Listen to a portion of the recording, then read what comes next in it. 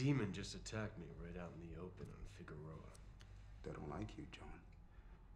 How many have you deported back to hell? Not some angry half-breed Midnite, a full-fledged demon here on our plane.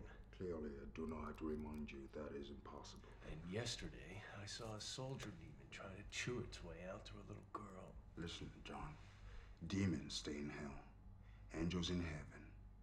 The great detente of the original superpowers. Thanks for the history lesson, been a tremendous help. Now, I need to use the chair. John, forgetting the fact that it would almost certainly kill you, you know I am neutral. And as long as the balance is maintained, I take no sides. Before you were a bartender, you were one witch doctor against one. 30 Ashkar. And I. You were Constantine. The John Constantine. Once. This isn't the usual game. I can feel it. Something's coming. Ooh, spooky. Balthazar. That expression alone has made my entire night. I'll make your night. I'll deport your sorry ass right where you stand, you filthy shit. You know the rules of my house. While here, you will abide by them.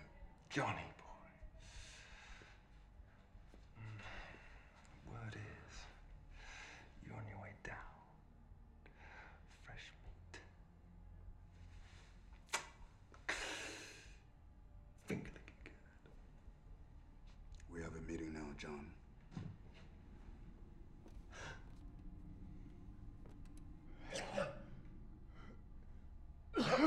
What? I didn't catch that.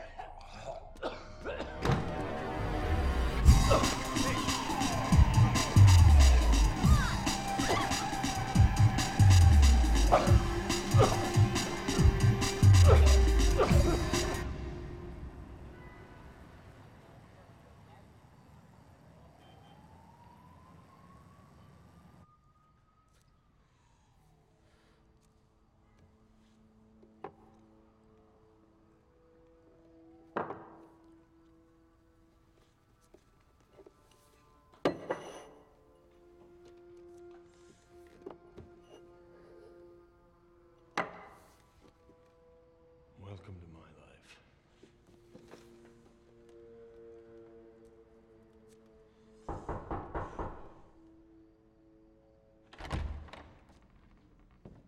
Mr. Constantine.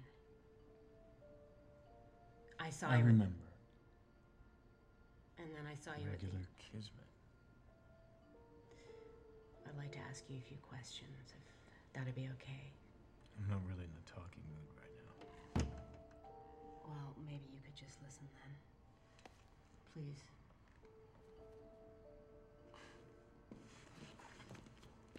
Always a catch.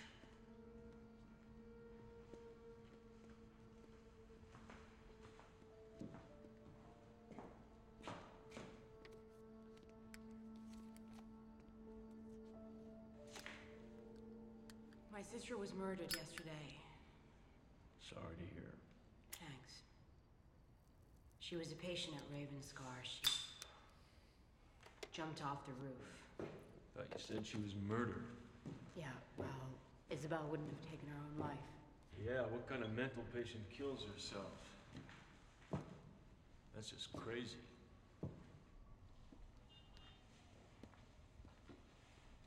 Look, I've heard your name around the precinct. I know the circles you travel in the occult, demonology, exorcisms. Just before my sister was committed, she became deeply paranoid. She started talking about demons, angels,